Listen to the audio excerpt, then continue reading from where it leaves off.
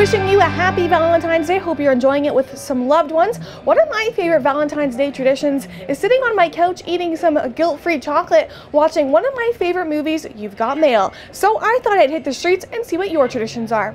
Um, I think we're just gonna have a girls' night and watch some movies and get some drinks. I think so, something like that. We don't know for sure yet. Sometimes out with the husband, but um, not this year. We're gonna celebrate in a couple weeks actually.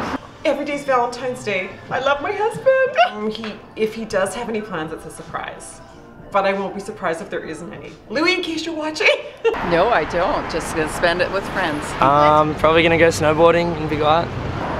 I am actually working the West Kelowna by-election. You're working? yes. What do you usually do on Valentine's Day? It's my father's birthday.